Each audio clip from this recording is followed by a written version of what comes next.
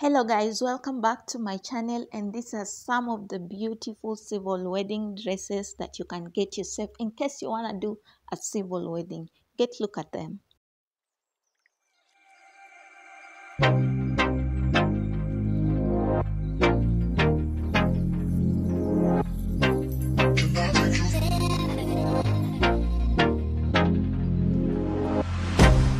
I can't get you out of my mind.